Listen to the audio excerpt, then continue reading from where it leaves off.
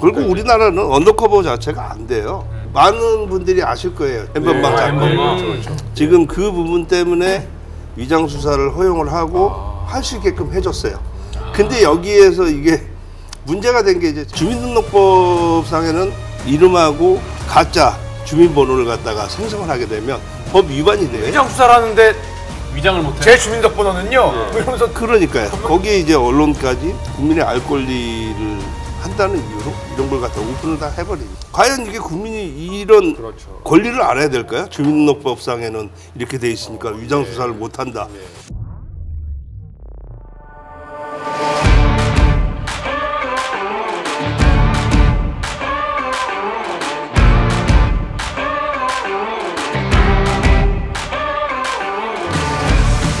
이슈의 게임을 더하다 지식의 밤. 자, 오늘은 2부 순서로 돌아왔습니다.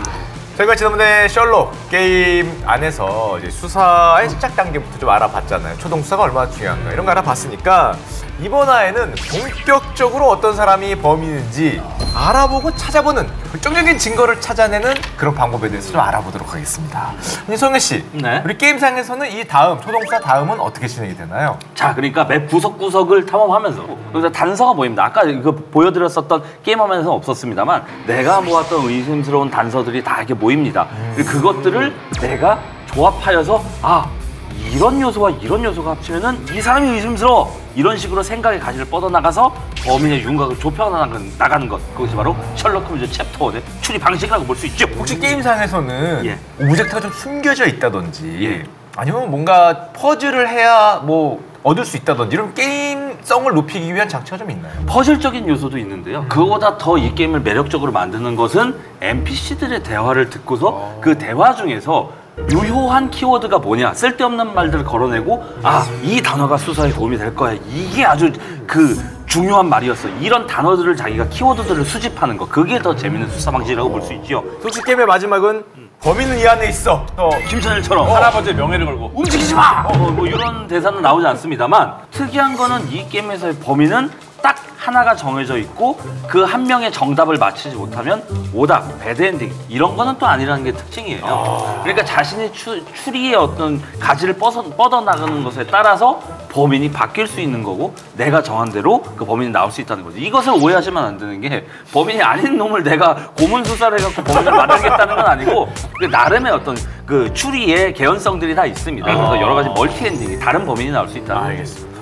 영상 한번 보고 얘기를 더 나눠보도록 하겠습니다. 오 동그라미 나왔습니다. 자꾸 눈에 거슬리네. 넌 못 들어간다.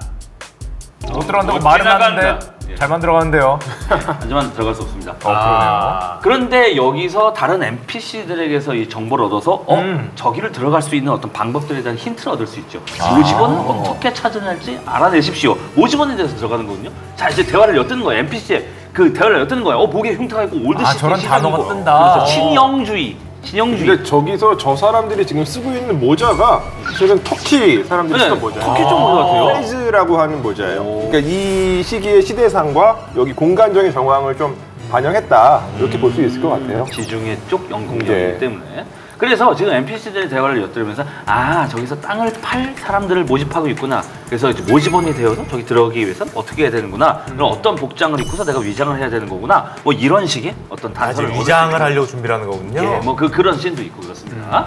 작업장에 들어올 만한 복장을 입고 왔더니 그만 서 상대고 안으로 들어가.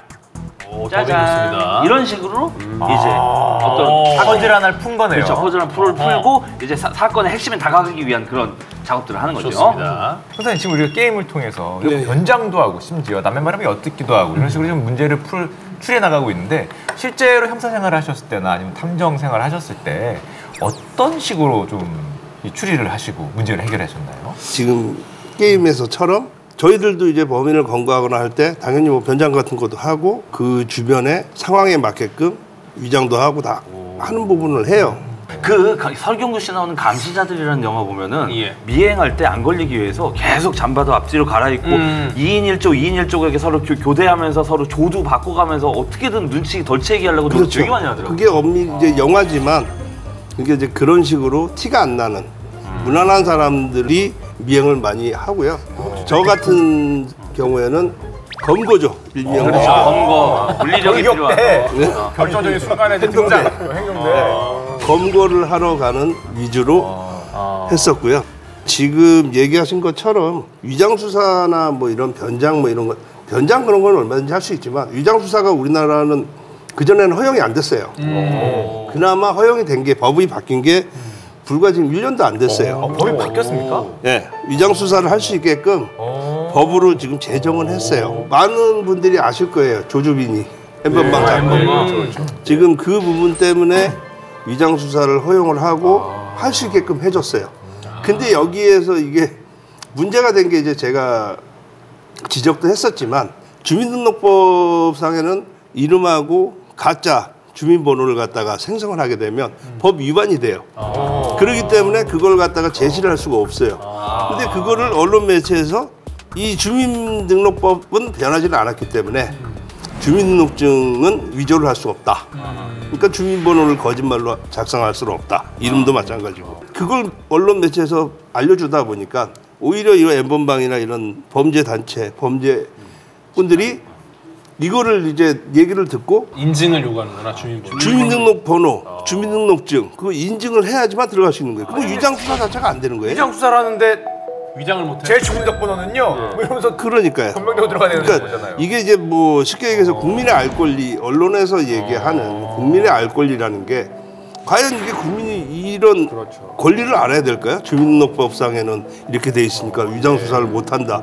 이런 걸 사실 얘기 굳이 알려줄 필요가 없는 거거든요. 이건 범죄자를 위한 알 권리밖에 안 되는 거예요.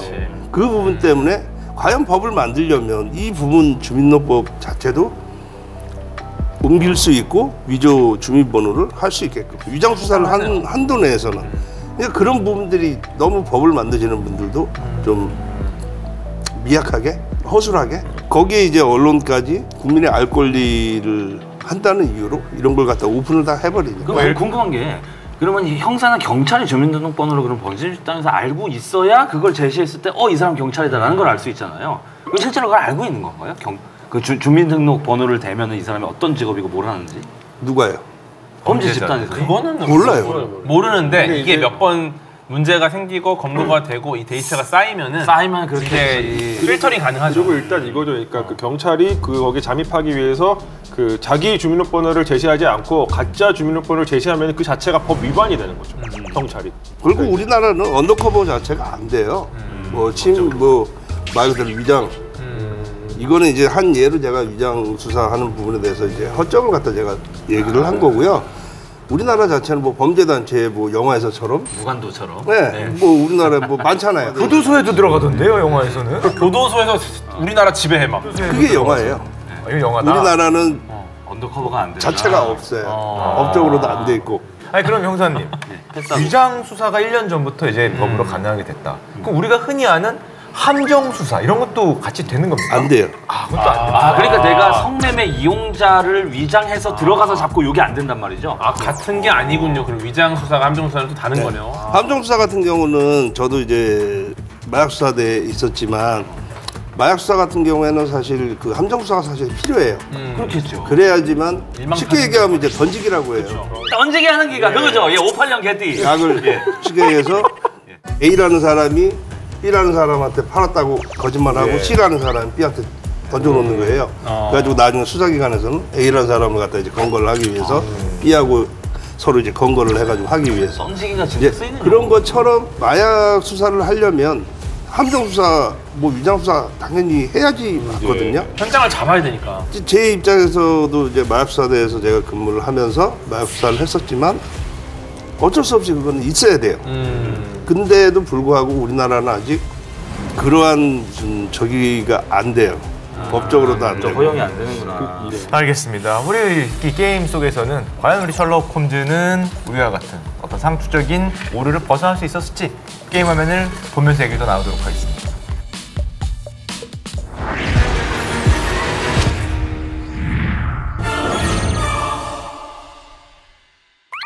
이건 뭔가요? 이분이 주먹을 쥐고 있나요? 자 이제 폴이라고 여, 여장 남장 여자예요. 근데 이제 요트 선수이자 이제 또 전문 밀수꾼으로도 의심을 할 수 있고 뭐 그런 상태인데 예. 이 사람을 이제 관상을 비롯한 여러 가지 몸의 특징들, 뭐 팔꿈치 상처라든가 뭐 이런 것들을 이제 보면서 이 사람이 지금 어떤 상황이고 지금 이 그 길진이라는 사람이 죽었을 때 어느 정도의 혐의점을 갖고 있느냐 이런 것들이 이제 자기가 자료를 모을 수가 있는 것이요. 셜록 홈즈가 어떤 관찰력을 통해서 물적인 이 정황들을 토대로 이 사람이 남장 여성일 것이다라고 이제 추론을 해나가는 그런 과정이 게임 속에서 구현이 되어 있는 것 같아요. 여기 한 가지 지금 직관 이 부분에 대해서 한 가지 말씀드릴 게 있는데 이거는 이제 제가 그때 이제 현직에 있을 때 그 강도 사건이 있어가지고 그 주변을 이제 탐문을 했었어요. 어. 한 명이 좀 약간 좀 행동 거지라고. 할까? 쭈빗쭈빗하고 이제 저희들 얘기 뭐 말 그대로 이제 감, 촉 뭐 이런 게 검문을 했어요. 그래가지고 이제 그 신분을 확인을 하고 저는 이제 얼굴을 봤잖아요. 이름하고 뭐 주민번호 이제 다 이제 수첩에 체크를 해놨었고 그러고 나서 며칠 후에 그 주변에서 강간 사건이 벌어졌어요. 어. 강간 사건이 벌어져가지고 그 피해자가 물론 이제 사망하지는 않고 이제 병원에서 확인을 하는 과정에서 피해자가 얘기하는 얼굴 형태, 몸 뭐 이런 부분들이 제가 며칠 전에 이제 검문을 했던 그 친구랑 유사한 것 같다는 느낌이 온 거예요. 어. 그래서 이 친구에 대한 주민록 사진부터 해서 그걸 발췌를 한 걸 가지고 피해자에게 보여주니까 맞다는 거예요. 그래가지고 범인을 검거한 사건이 있었어요. 이거는 말 그대로 이제 뭐 촉이었겠죠? 제 나름대로의. 그죠. 얘기를 근데 이게 하긴 결국은 하는데 이 사람의 외형, 이 사람이 뭔 갖고 있는 이 외적인 형태잖아요. 이게 사실 과학 수사의 시작입니다. 어, 관상도 과학이에요. 그러니까 과학은 아니나 과학적인 방법론으로 접근하려고 했던 시도인 거죠. 그러니까 인체 측정술이라고 해가지고 얼굴을 딱 해서 이제 사진을 찍을 때 그다음에 이 사람의 모든 신체 조건을 열심히 기록을 남겨요. 왜냐하면 이제 이걸 통해서 분류하고 구분해서 과연 범죄를 많이 저지린 저, 저지르는 이 인체 외형은 뭘까? 아. 그래서 이제 사진을 찍을 때 이게 아직까지도 남아 있어요. 예를 오. 들어서 우리 머그샷 찍을 때 네. 네, 네. 네. 찍잖아요. 이렇게. 웃을 수 있으니까 못, 못 웃죠. 못 희노애락을 없애야 돼요. 왜냐면 그래야지 객관적으로 인체 측정이 가능하다. 그래서 이제 먹으셨 찍을 때 무표정을 찍잖아요.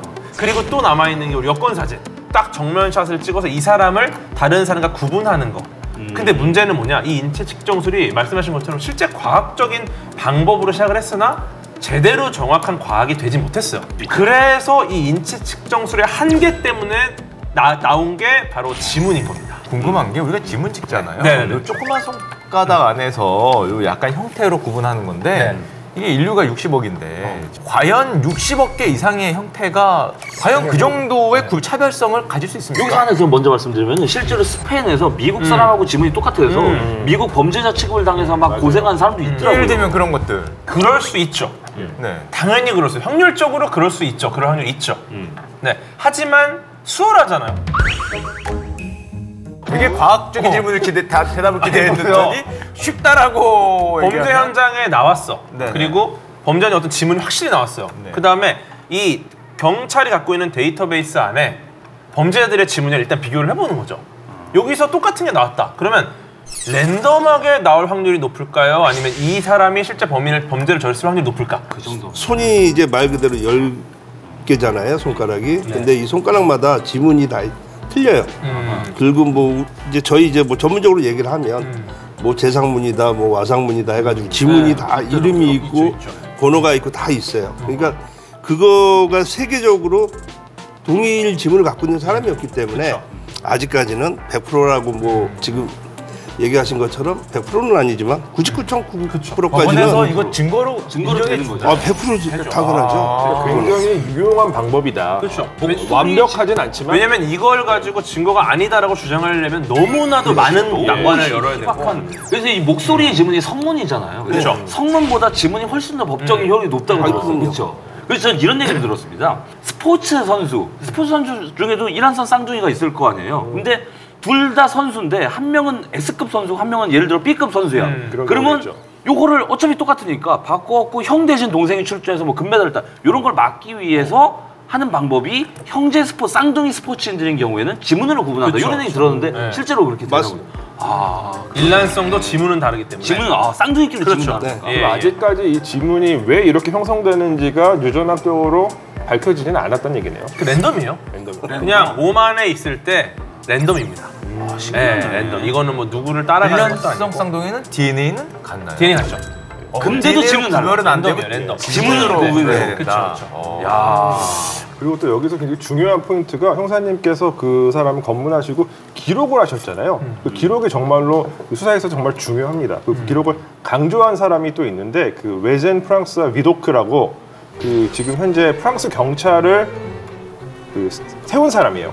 1812년에. 이 사람 원래 범죄자였다가 범죄 전문가가 된 사람인데 범죄자가 경찰을 세워도 됩니까? 그러니까 범죄자였다가 이제 이제 그, 그 범죄를 잘 아니까 이제 그 이제 뭐, 뭐그 공권력의 수사에 지원을 하다가 결국에는 그 이제 그- 그러한 이제 수사를 그러니까 수사하는 공권력을 정말 하나의 정부 기관으로 만든 그런 사람입니다. 아, 해커가 사이버 수사대 경찰이 되는 그런 예게 맞습니다. 있어? 예. Catch Me If You Can에서 그쵸. 레오나르도 디카프리오 예, 그렇죠. 예, 그거랑 비슷한 케이스라고 할 수 있죠. 너무 유능하니까 좋은 쪽에 쓰는 예, 거죠. 맞습니다. 근데 이 비도크가 그 저희가 그이 G식의 밤에서 첫 번째로 다뤘었던 어쌔신 크리드 오리진 말고 어쌔신 크리- 크리드 유니티에 프랑스 혁명을 다뤘던. 맞습니다. 거기에 등장합니다. 오. 그때는 범죄자였어요. 그래서 감옥에 있는데 그 주인공이 이사 이 비도크를 대신해 가지고 뭔가 사건을 수사하는 그런 에피소드가 그 게임에 또 등장을 합니다. 어, 이게 또 이렇게 연결이 돼. 프랑스 경찰이 범죄자에서 탄생을 했다. 근데 이 촉이라는 것도 어떻게 보면 계속 아까 마- 말이 나오던 그런 일종의 경험으로 누적된 단서들인 것 같아요. 그래서 이게 근데 그렇다고 범인이라고 확정할 수 없는 증거지만 경험상으로 어떤 패턴이 보였을 거고 아 저런 사람들은 저런 징후 어떤 저런 움직임 저런 걸음걸이를 걷는구나 이걸 기반으로 추정을 한 건데 사실 이게 증거가 될 수는 없잖아요 범죄의 증거가 그렇지, 그렇지. 그렇기 때문에 최소한의 어떤 그 보호 조치를 하신 거고 근데 그게 맞는 경우가 있었을 거고 틀린 경우가 있었을 거고. 그러니까 촉이라는 게 되게 모호한 것 같지만 결국은 형사의 경험이 누적된 일종의 빅데이터다. 저는 이렇게 좀 보입니다 자기가 보기에는 이런 이런 사정이 있으니까 범인은 코끼리로 하고 야 너는 그냥 내가 봐줄게 알겠어 실제로 가. 돼요. 예. 아니 이렇게 되면은 이 정의에 어긋난 거 아닙니까 지금까지 추리는 왜한 거예요 코끼리로 갈 거면 그래서 열린 결말이에요. 그러니까 정답이 딱 하나 있고 플레이어 너는 명석한 추리력으로 그 하나의 정답을 찾아내야 돼 라는 게 아니라 범인을 상대로 한 판단인 기준이잖아요. 예. 그러면 죽어 있는 이 피해자는 누가 보호해 주나요? 유족들은 제 가족 누가 뭐 살인을 당했든가 뭐 했으면 저도 그 범인을 찾아서 죽이려고 하겠죠. 법이 없다면 법이 있으니까 그 사람을 잡아서 처벌을 하려고 하는 거고 그럼 과연 그거에 상응하게끔 처벌도 내려야 되고 왜? 왜 선처를 성일 씨가 해요? 어, 선처는 법이 기준을 가지고 제대로 해야지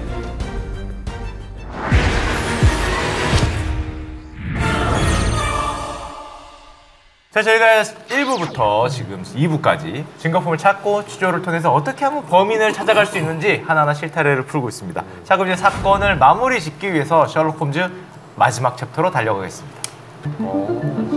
야, 저 진짜 저 미세한 걸로 막 판단하잖아요. 그러니까 흔적이 뭐가 예. 방향이 지금 바로 누가 범인이다 범인은 이 안에 있어 하면서 잡을 줄 알았는데 결말이 좀 열려 있네요. 그래서 열린 결말이에요. 그러니까 정답이 딱 하나 있고 플레이어 너는 명석한 추리력으로 그 하나의 정답을 찾아내야 돼라는 게 아니라 어떤 그 추리의 과정에 개연성이 있고 내가 모은 단서가 그렇게 그런 그걸 향하고 있다면 어느 쪽도 범인이 될 수 있습니다. 그렇게 내가 범인을 만든다고는 또 다른 얘기인 거예요.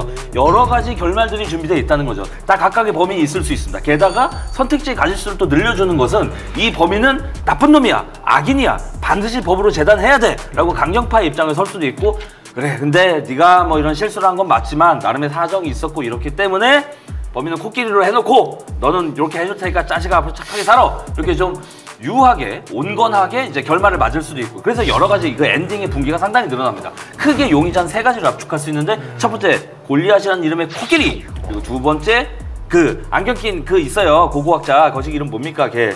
걔 이름 아서 아서 있고 세 번째가 우리 계속 얘기했었던 폴 퍼커스 그 여장 남자. 이렇게 세 가지가 있습니다. 아니 예. 그런데 셜록 홈즈 입장에서 음.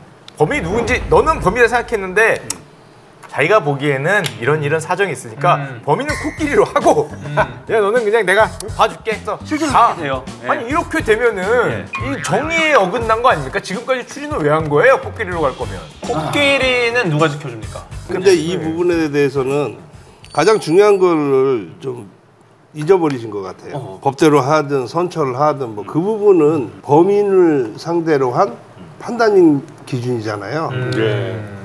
그러면 죽어 있는 이 피해자는 누가 보호해 주나요? 왜? 왜 선처를 성일 씨가 해요? 어, 선처는 법이 기준을 가지고 제대로 해야지 인간이 거기 개입하면 안 돼. 말 그대로 뭐 10명의 범인을 놓치더라도 한 명의 억울한 사람 만들지 말아야 되기 때문에 그거에 맞춰서 그만큼 증거를 더 확실하게 찾아내 가지고 음. 아 이게 뭐 현실이라고 했을 때 이건 이제 게임상이니까 물론 그런 여러 가지 추론이 나오지만 어찌 됐든 피해자는 죽은 자는 말이 없지만 죽었잖아요. 음. 억울하게 죽었잖아요.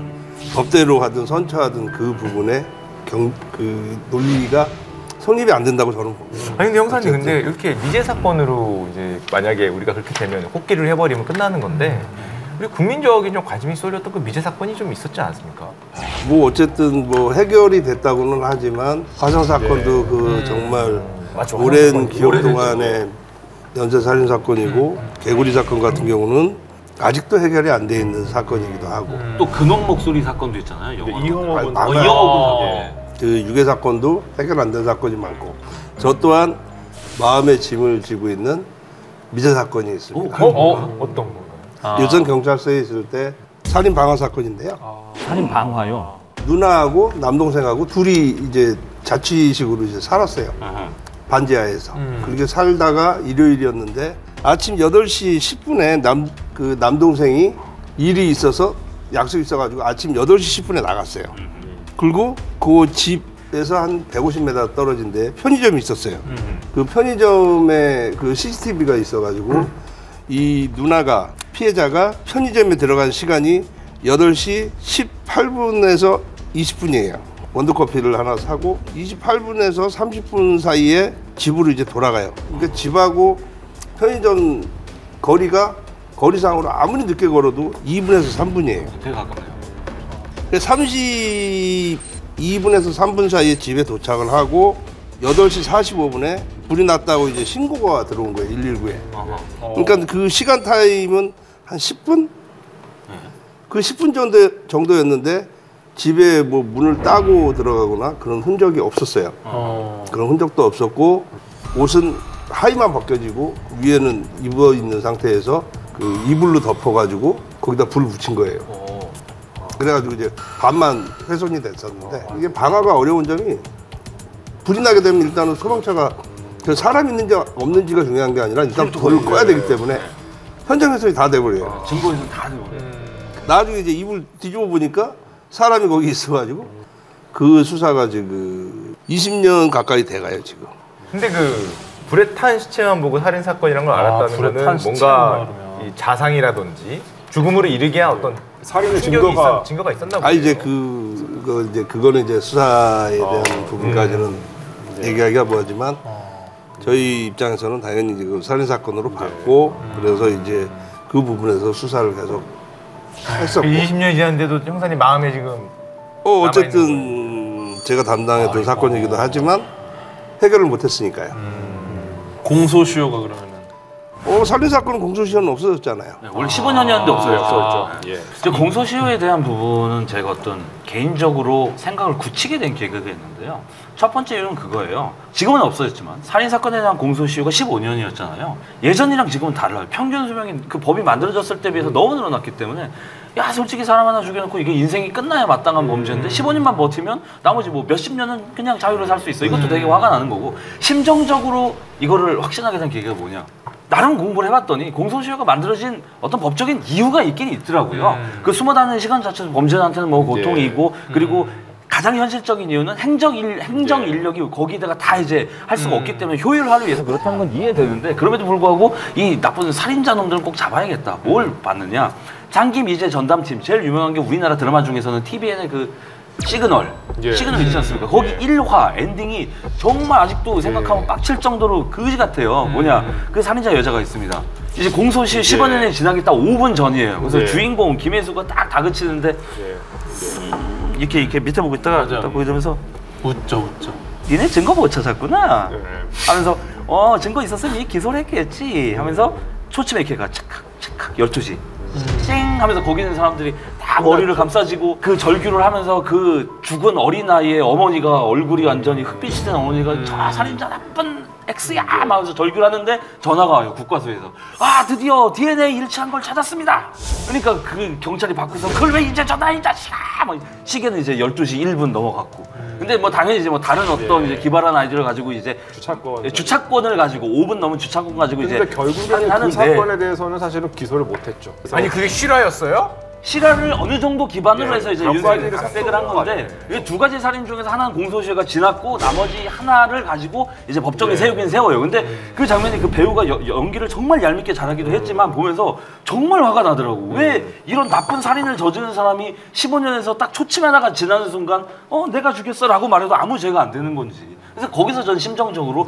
아 살인 같은 이런 중범죄는 공소시효가 있으면 안 되겠다라고 마음을 굳히게 된 계기가 됐었습니다. 근데 보는 사람도 이런데 직접 수사하셨던 수사관님들 입장에선 정말 복장이 터지겠어요. 그 공소시효 때문에 놓치게 된다면. 근데 가장 근데 사실 여기에서 미제 사건이라고 뭐 얘기들 뭐 살인 사건만 얘기들을 이제 하시는 분들도 많고 법을 만드시는 분들도 뭐 그렇게 저기를 하시는데 저는 공소시효를 만약에 한 사건 하나를 더 많이 공소시효를 없앤다면 어린 유괴. 유괴 사건 플러스 강간 사건. 특히나 이제 그 떼강도라고 해가지고 한참 유행할 때가 있었거든요. 대강도가요. 한 다섯 여섯 명이서 가정집에 들어가서 남편이 보는 데서 부모가 보는 데서 자식이 보는 데서 윤관을 하고 부모가 보는 데서 뭐 자식을 갖다가 딸이든 이렇게 막 해가지고 한 부분 때문에 부모가 자살하는 경우도 있었고 그게 참 아주 정말 안 좋은 사건이었는데도 불구하고 뭐 판사가 기준이 도대체 어떤 기준까지 가는 건지 모르겠지만 나중에 잡아서 기껏 형량이 약하게는 뭐 3, 4년부터 해가지고 많이 받은 게 8년인가? 그 피해자는 그걸 갖다가 그 피해 당한 걸로 해서 자살도 하고 다 그렇게. 평생 그걸 저기를 하는데 이혼도 하고 막 그렇게 다 저기가 됐는데도 불구하고 범죄자들은 그렇게밖에 처벌을 안 받아요.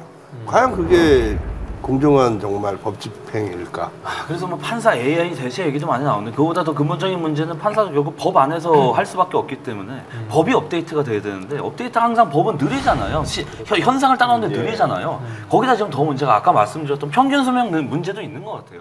인간 삶이 이렇게 길어지는데 그게 맞춰서 아닙니다. 그거는 저는. 그 부분은 저는 지금 제 생각은 다른 게 정말 저는 뭐 현직에 있을 때부터도 얘기를 했었지만 검사 판사들 특히나 판사들 같은 경우에 지금 현재 있는 지구대 파수에서 더도 말고 한 달만 근무를 해봤으면 좋겠어요. 어, 현장을 좀 알고. 가장 일례로 제가 현직에 있을 때지만 판사분이 보이스피싱을 당했어요. 아, 예, 그 사건 신문에서 봤어요. 5천만 원. 네.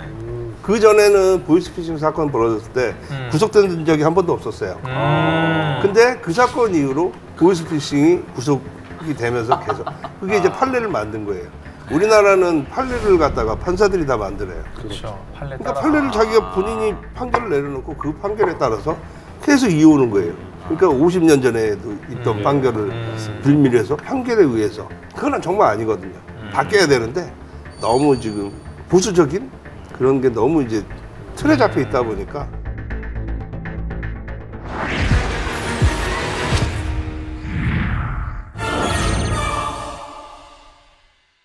근데 궤도 씨 요즘 같은 과학 음. 어떤 발전된 시대에 과거 미제 사건들 잘만 파보면 해결될 게 분명히 있을 것 같거든요. 그러니까요.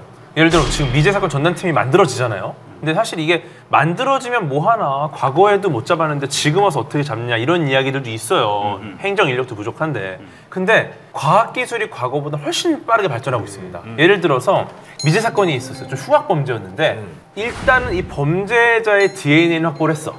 근데 이 범죄자 DNA랑 일치하는 범죄자가 아무도 없는 거야. 그래서 현장에서 DNA 확보했으나 범인이 안 나오는 거예요. 그래서 미제가 돼버렸어요. 왜냐면 뭐 모든 국민의 DNA를 우리가 가질 수는 없으니까. 그런데 재밌는 게 그 우리가 이제 지금 유전자 검사하는 게 되게 활성화됐잖아요. 그래서 누가 재미로 본인의 유전자 검사를 한 거야. 근데 이 사람은 뭐 본인이 뭐 암에 걸릴 확률, 뭐 폐암에 걸릴 확률, 그다음에 뭐 나는 나 유전자는 뭐 어디서 고 이게 뿌리가 지금 과학 기술로 정말 굉장히 뚜렷하게 예. 나오거든요. 얘 이제 조상이 어디서 왔는지까지 다. 이게 몇 프로로 이렇게 단위로 네네. 나오고요. 근데 이 패턴이 이거를 우연히 이제 다른 거랑 비교를 해봤더니 과거에 그 미제 사건의 범인의 유전자랑 일치하는 부분이 나온 거예요. 이 아이 할아버지였나 아무튼 이 이 사람의 이 예, 이 친척 중에 먼 친척 중에 누군가가 일치하는 DNA가 나왔어요. 알고 보니까 이 사람이 경찰이었어요. 미제 사건에서 걸리지 않은 게 경찰의 유전자이기 때문에 당연히 검사를 안 하는 거예요. 그래서 이제 완벽하게 이거를 숨길 수 있었고 경찰이다 보니까 본인이 수습도 할 수 있었고 그래서 절대로 걸릴 수가 없는 거였고 이제 나이도 많이 들었는데 그거를 이제 유전자 검사 결과의 뿌리를 따라서 따라서 찾아서 갔더니 결국 잡힌 거죠. 거의 60인가 70인가 그렇게 되셨죠? 네, 나이가 해외 되게 많아요. 맞아요, 맞아요. 그러니까 결국 과학 기술이 더 발전하면은 이제 빠져나갈 구멍이 없게 만들 수 있어요. 실제 예. 한국에서도 그 화성 사건도 해결이 된 것이 그 유전자 유전자 감식 기술이 발달해서 사실은 맞아요. 가능해진 네. 거죠.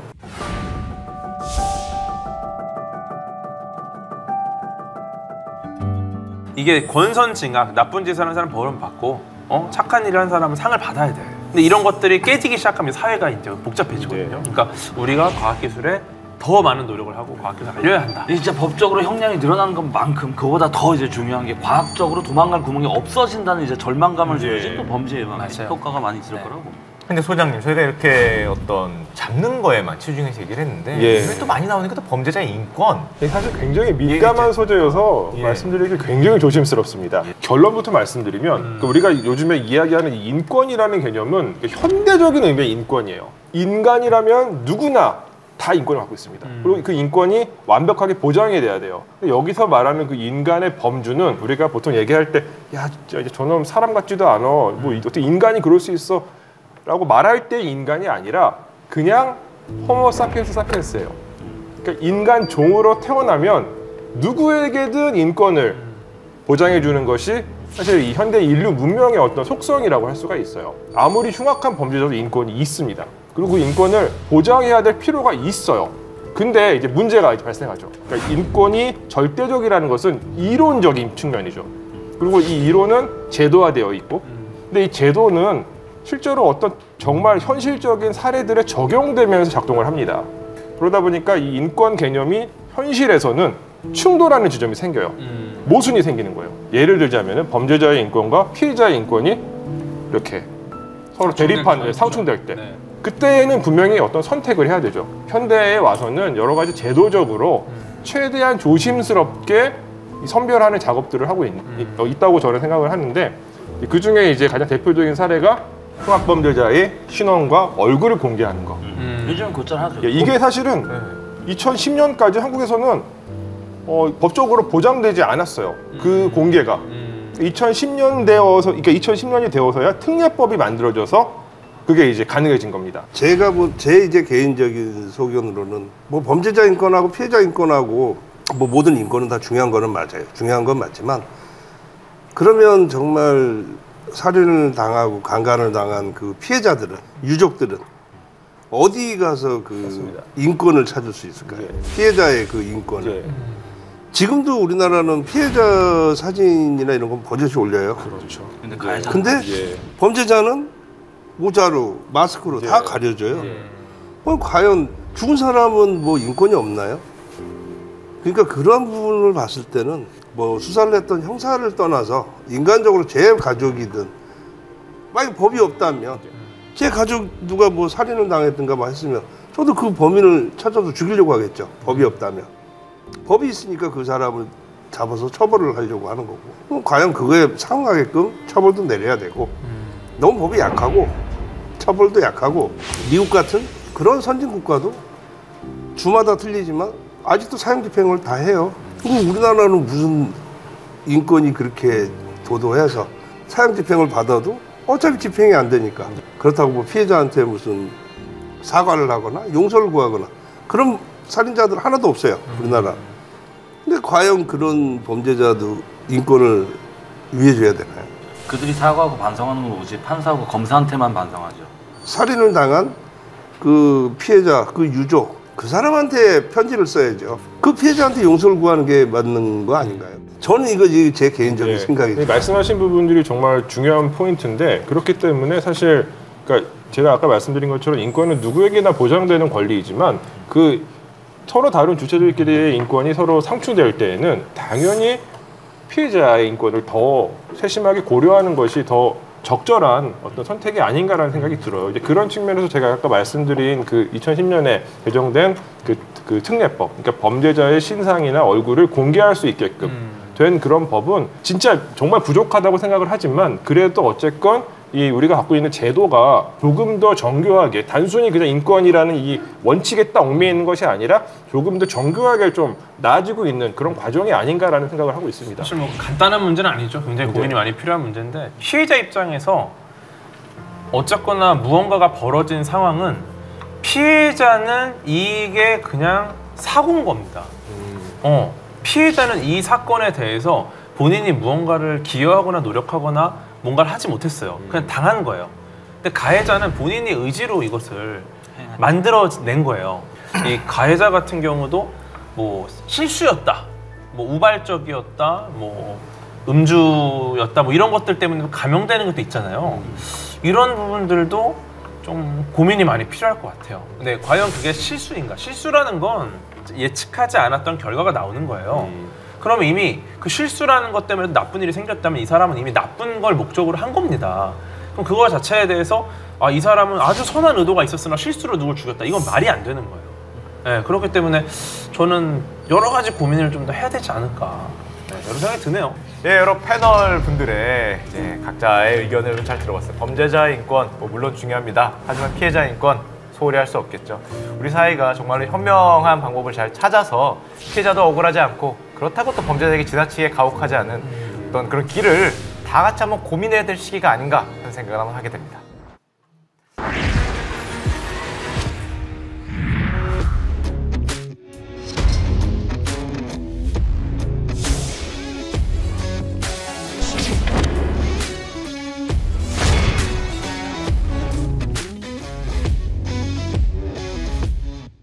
게임 속 모든 이야기를 담다 지식의 밤. 우리가 탐정이라는 어떻게 보면 우리나라에는 생소한 앞으로 등장할 직업에 대해서 좀 알아보고 정말 게임을 통해서도 한번 플레이해보는 그런 시간을 가졌는데 어, 현직의 탐정님이시죠? 형사님 좀 어떻게 보셨나요? 제가 이제 처음 나와서 이제 이 내용에 대해서 어떻게 얘기를 하다 보니까 저로 인해서 좀 대화가 좀 무거워지지 않았나.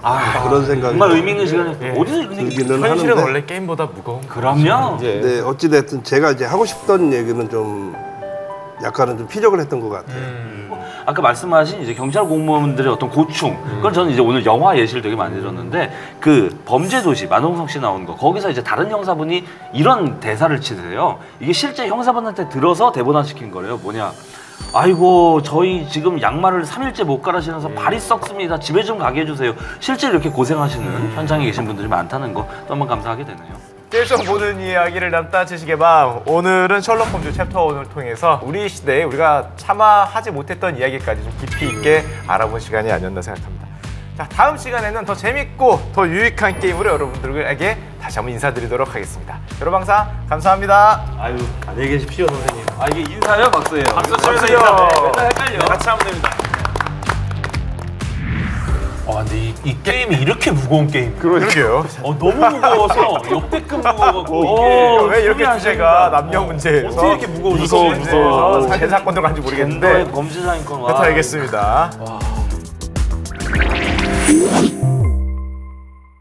자 오늘 다룰 게임도 태생부터 해외에서 엄청난 인기를 몰았던 무려 출시 17년이 된 바로 그 게임 던전 앤 파이터가 바로 오늘의 게임입니다. 이게 17년짜리 게임인데 네. 이 17년짜리를 한번 30초 내에 한번 도전을 해보겠습니다. 17년을 30초로. 네, 자, 해볼게요. 시작. 행성이 도착했다. 뭐 이렇게 보시면 될 것 같습니다. 자연스러운 그림을 도트를 찍으려면 이 시시각을 굉장히 잘 이용해야 돼요. 그때 미소녀 게임들 얼마나 정확하게 손을 가리키면서 네. 아니 있네요. 정말 이선영 말- 게임은 안 하네요 미소녀 게임의 릭스. 몰랐는데 아, 있잖아. 이게죠. 이게 헤어지는 이유가 야 사기꾼 같다. 네. 아니 대한민국 대표하는 과학자신데 하겠습니까? 왜? 죄송합니다. 그러면 거의 모든 것들이 다 이집트에서 시작이 됐죠. 인류 문명사 거의 모든 것들이. 던파줄거리죠? 네네 던파줄 성경인 줄 알고 듣고. 되게 어쩐 듣다 보니까 뭐 좀 이상한데 성경이. 1의 디아블로 얘기 디아블로 때도 성경 얘기 많이 네, 나왔어요. 네. 성경에서 많이 근데. 이 12신이라는 게 이제 성경에서도